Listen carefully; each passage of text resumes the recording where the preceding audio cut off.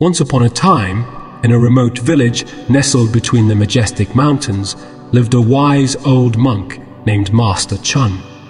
He was renowned for his remarkable ability to guide people in finding their inner voice, a skill that had been passed down through generations of monks in his lineage.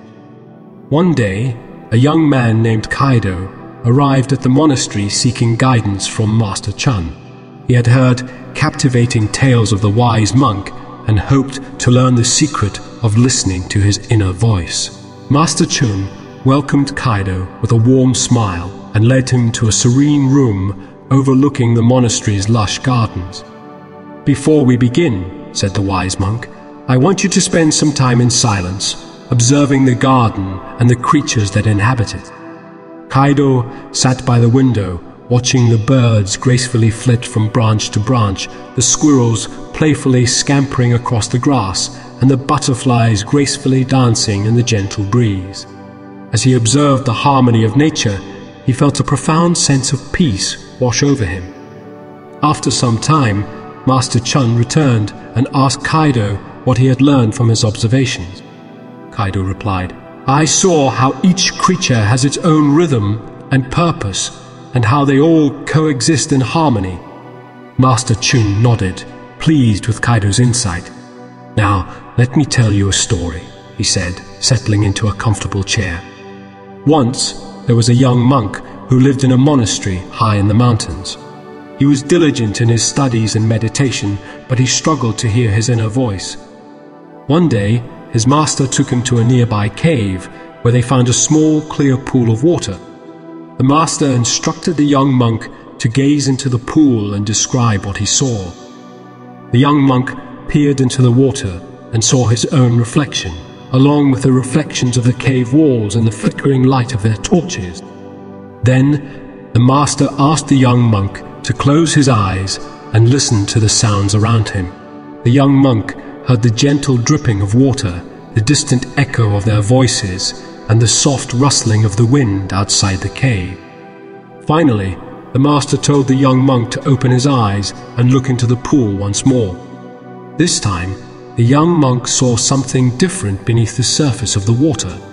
He could see a world of shimmering fish darting among the rocks and plants.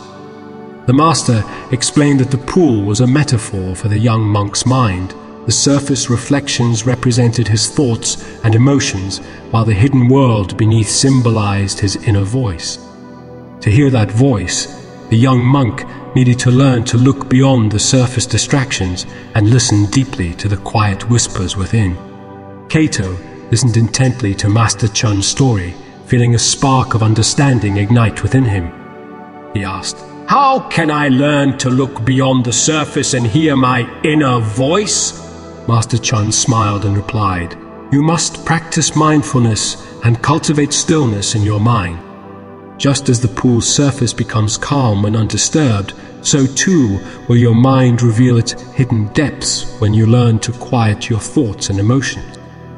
Over the following weeks, Kaido practiced meditation and mindfulness under Master Chun's guidance. He learned to observe his thoughts without judgment, allowing them to pass like clouds in the sky. Gradually, he began to hear the whispers of his inner voice, guiding him with wisdom and clarity. As the story of Kaido and Master Chun comes to a close, let us reflect on the nature of happiness. Happiness, like the inner voice, is often found in the depths of our being, beyond the surface distractions of our thoughts and emotions. It is not a fleeting sensation or a temporary state, but rather a profound sense of contentment and inner peace that arises from living in harmony with our true selves. To cultivate happiness, we must learn to listen to our inner voice, allowing it to guide us on our journey through life. By embracing mindfulness and stillness, we can quiet the noise of our minds and tune into the wisdom that resides within us.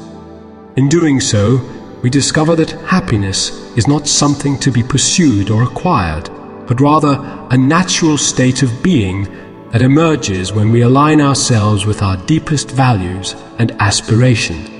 In the words of the ancient philosopher Lao Tzu, happiness is the absence of the striving for happiness. May we all find the courage to let go of our endless pursuit of external validation and material success, and instead turn inward seeking the happiness that lies within our own hearts and minds.